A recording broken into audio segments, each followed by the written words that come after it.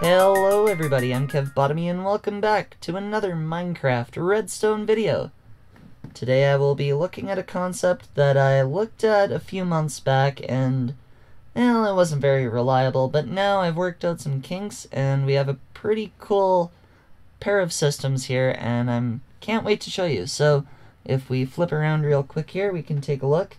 So on the right, we have the reliable lava clock. So if we flick this lever here, that will get this thing going. So we supply a constant redstone signal to the lava, and the observers will pick up a clock rotation out of this. Now, beforehand, this wasn't exactly reliable because random ticks can affect the lava, and when they do so in the state where the lava is being updated by the redstone, these will detect the random ticks. Now the workaround was to hook two of them up to an AND gate, and then that way, if any random ticks go through, they will not make it to the output. Now, to be fair, there are not a lot of practical uses for this lava clock, but there is one unique aspect to it, and that is that it'll give an output once every seven ticks.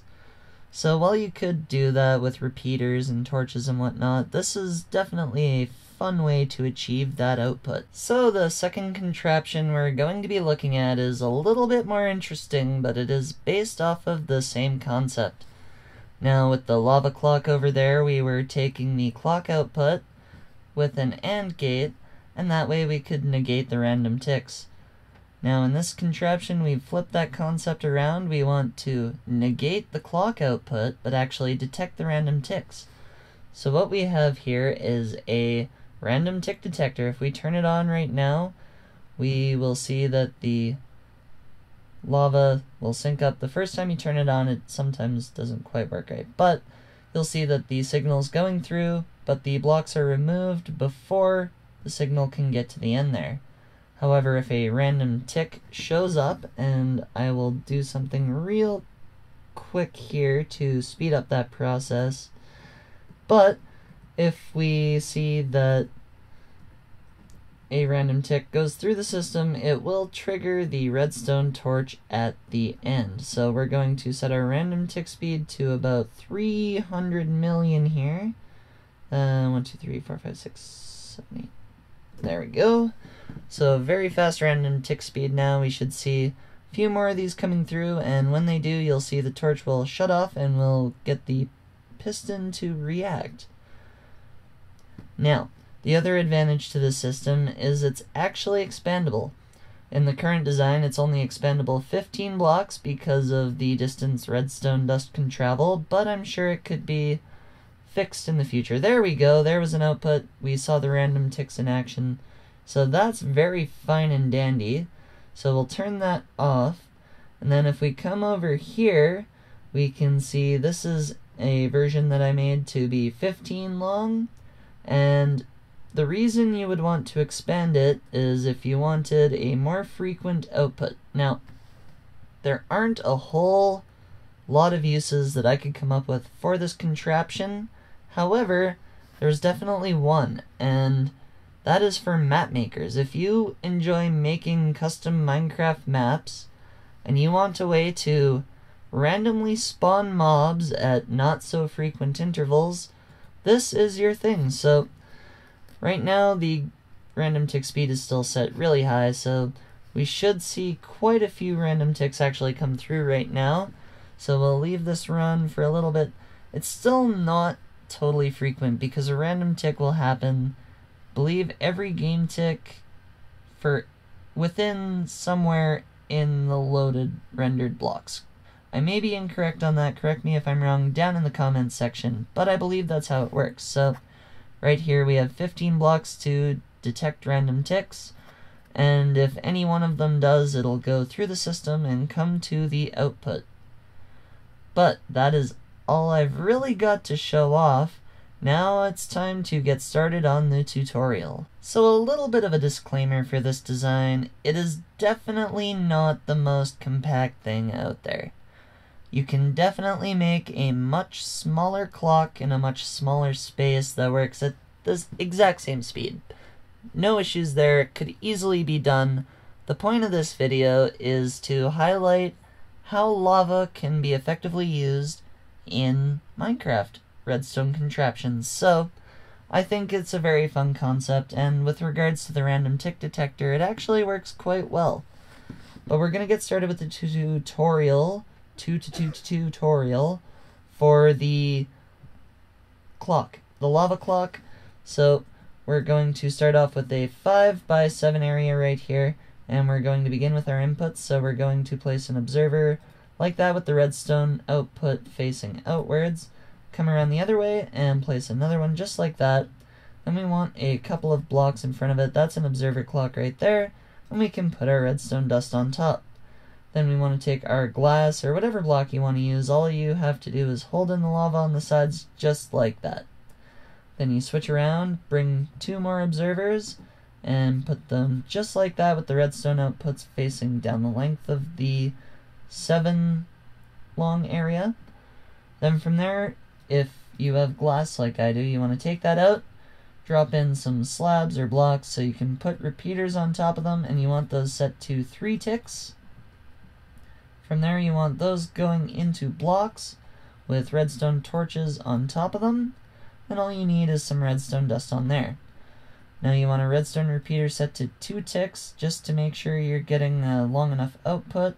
And then you want a sticky piston, or whatever your output is, I'm just using a sticky piston, to output your output, if that makes any sense. Now, other than that, that should be the system completed. If you want to turn it on and off, you can easily move one of these observer blocks with a lever and a piston. So here you can see off, on, and then the last part is placing in the lava. Now this part is a little bit tricky, so if you come down, you can place one, and then if you get the right timing, sometimes you can just get it to work. But as you can see here, these are not synced up. Now, you have to sync up the lava because it is a slower clock. It can be a little bit tricky. So, to sync the lava, all you have to do is get rid of one of them, and in survival mode, this will be a bit harder too because you'll have to break the block instantly and then place in the lava. So I'm going to try to do that now. And we can see that I have failed. So I'm going to try this a few more times and I will catch you once the system is synced up. There we go guys. Okay, so as you can see I have got the lava all synced up and because it is a 7 tick clock, it actually gets really tricky to place in the lava at the right time. So it definitely took me a few attempts to get. It is a bit of a pain, but overall, it's worth it for such a cool concept. So now we'll get started on the tutorial for the random tick detector. Now, for the tutorial, I'm only going to do the 2-wide tick detector because it is completely expandable. All you have to do is repeat everything I showed you over and over again, and you can make it just fine. So, we are going to begin the same way we begun the other one with some observer blocks. We're going to come out and we're going to place one just on the corner like that with the redstone output facing out like that. Flip around, another one like there and we might as well just take care of the on and off mechanism right now. Grab a lever and a sticky piston, and we'll flick it off just for ease. So then we take two blocks, put them into the observer like that with redstone dust right on top, and then we take our glass, put one right there, and right there to hold in the lava. Then we want to grab our observers, place them out just like that, exactly the same as over there, and then we also want to do the same thing with the slabs. Place them down if you don't already have a block there. Then repeaters set to 3 ticks coming out of the observers. Then we want to place down some blocks, and this is where things change up. We want to put torches going upwards for the AND gate, and then we want to put some blocks on top, and then also to the side, just like that. Then we want to take redstone dust and put it on top of all of those. Then we want to come down here, break those glass if you're using it, replace it with slabs or blocks, and then we want to put in some redstone repeaters set to 2 ticks.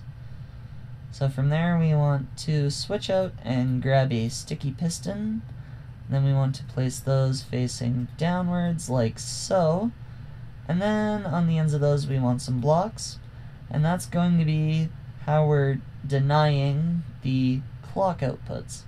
So from there we want to break glass one final time, replace it with slabs, and then we take our redstone repeaters, set to two ticks, and those go into some blocks with redstone dust on top, and then from there I'm just using a torch and a piston for an output.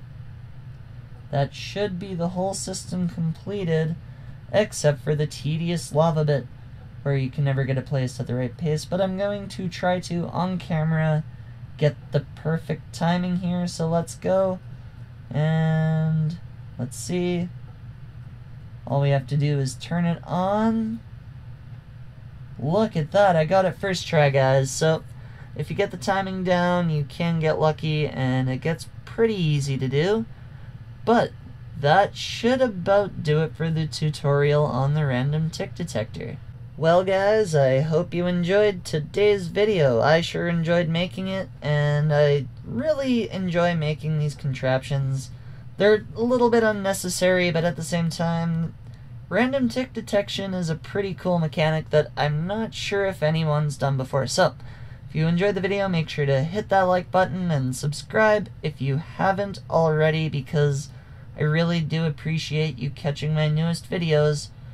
But, that's all I've got for you today, and I hope to see you in my next video. Bye.